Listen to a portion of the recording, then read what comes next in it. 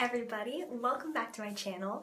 So today's video is going to be about last weekend's princess parties. I had two Ariel and one Cinderella. Actually the Cinderella one was first and it was pretty early in the morning. And let me tell you something, moms don't cancel their kids' princess parties, like ever. Last year we had a, like a foot of snow on the ground the plows couldn't even get up the street to my friend's house where the princess headquarters is and the mom did not care. She's like, you better be here.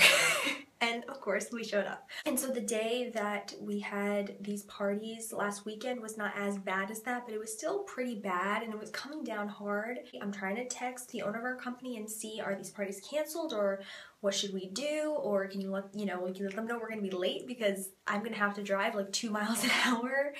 And you know she wasn't awake at the time. It was it was pretty early. And my assistant for the day was texting me this wonderful new assistant we have named Noelle. You'll all meet her soon. She's wonderful. I truly am so thankful that we have her. She's texting me and saying okay I'm gonna call the mom you know I'm gonna see what's up. So I really appreciated that too like her taking control and like figuring stuff out. I'm just trying to be responsible and do my job and make sure that these kids are not disappointed because if I don't show up, there's no princess and I don't want to be that person that disappoints a child, you know? They're the whole reason I do this. I mean, yes, I love my job for other reasons. I'm not like a totally selfless human being, but seriously, like they keep me going. And when I was driving to work and I was literally driving through snow, like they had not plowed uh, or put salt on the highway at all. It was really dangerous. When I'm driving 20 miles an hour, and it takes me 40 minutes literally to get to a place that's usually 10 minutes away from my house,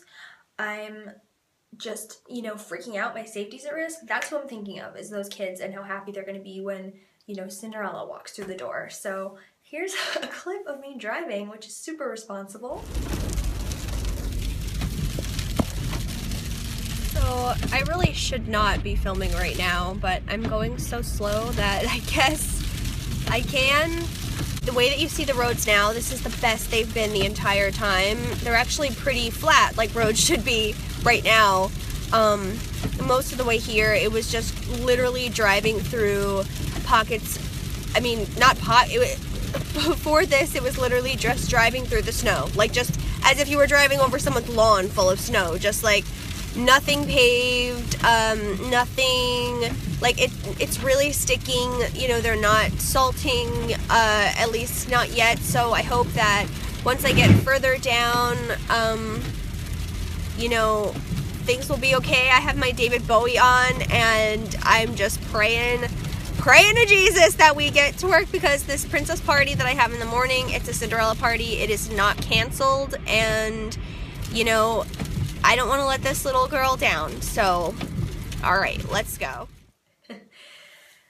Probably shouldn't have filmed that. Don't do that at home or don't do that in the car. But yeah, what you saw on the road, that was nothing. I was literally driving through snow as if I was driving through snow in someone's yard. Like it was crazy and it was super dangerous and I'm just so happy that I have a really good car and I have an SUV that can cut through that stuff because oh my god, it was actually really scary. So I had a Cinderella party first. We're leaving for the party now and this is, right now is the time we're supposed to be at the party. But it took us so long to get from our houses to Princess headquarters.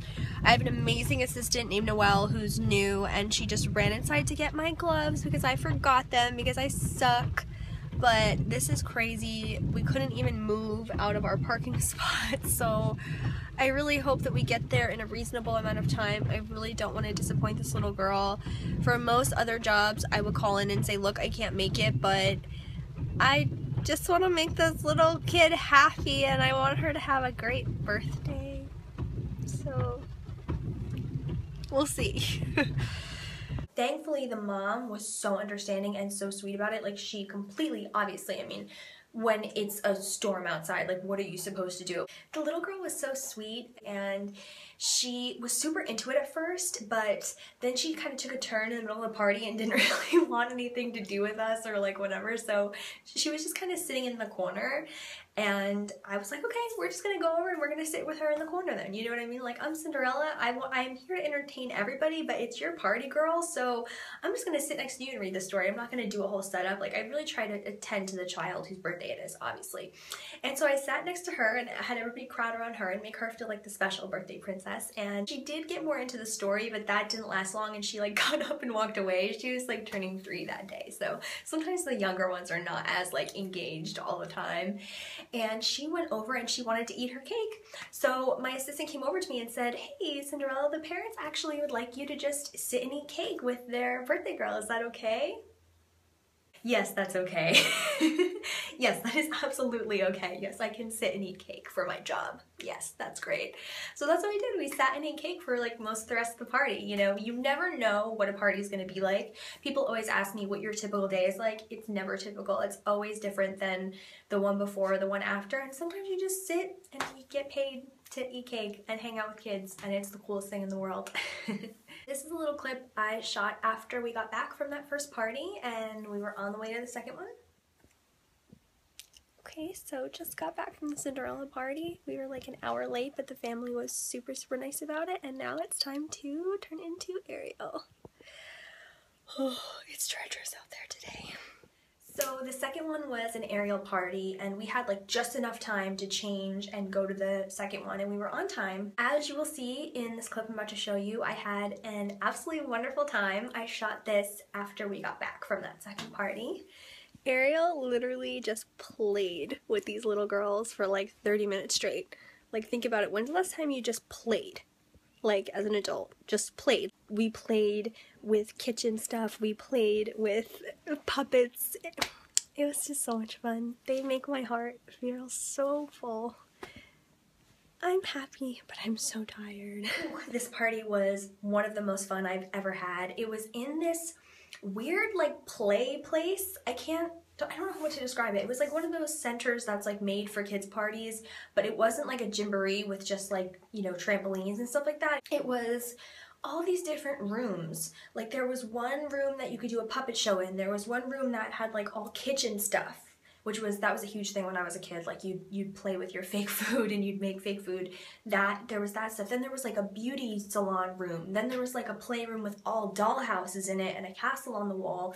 And then like all these places have there was like another room in the back that was like the room where you set up the cake and have pizza and stuff.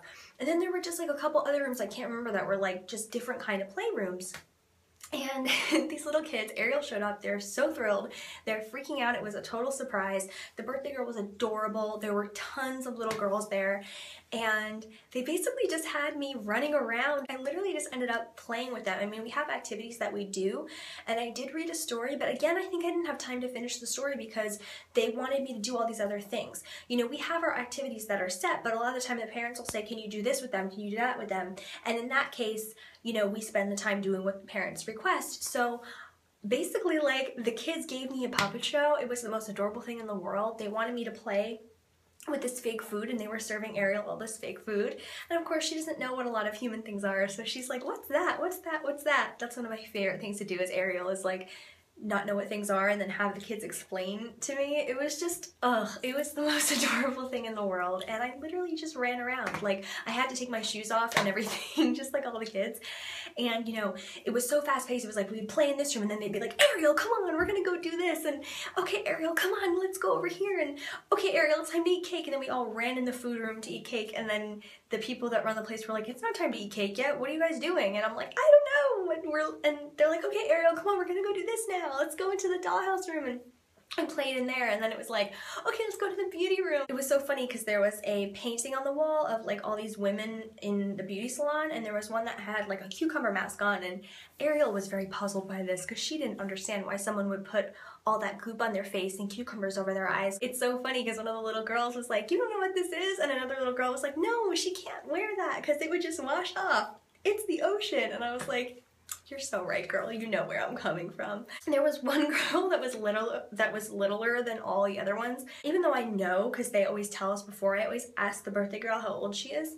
And the birthday girl's like, I'm turning five today. And then all her friends were like, I'm five too. I just turned five. I'm five and a half. I'm turning five next month. Blah, blah, blah, blah, blah. And then this younger girl goes, and I'm three. she was so cute.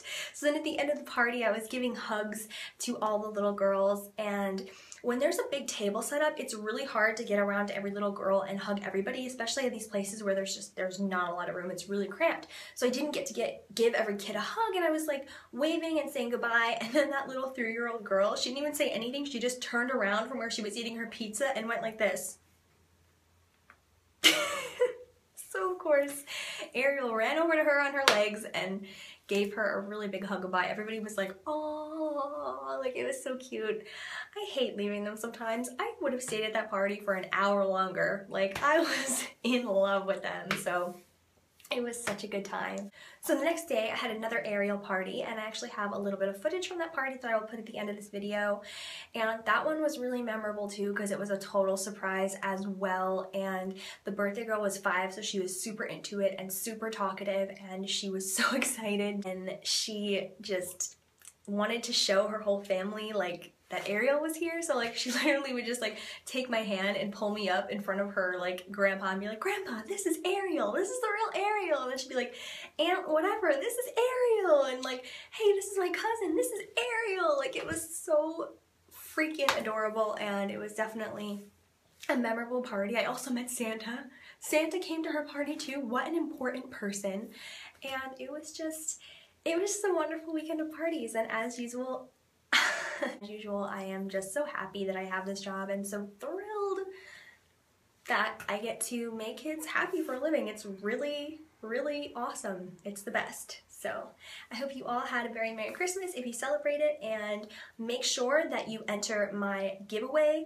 I'm giving away a benefit bag full of beauty products. So if you would like to try and win that, all you have to do is be subscribed and you can also go to my Instagram, which is at Moon, and you can find the post on there and like it or repost it for extra entries. So if you are doing that, just make sure that you are subscribed and that you follow me on Instagram and you might win the giveaway. I'm not sure when I'm gonna announce the winner, probably sometime after the holidays. So thank you guys so, so much for watching. I love you all and I will see you on the next one. Bye. Take a walk. Let's walk on our legs.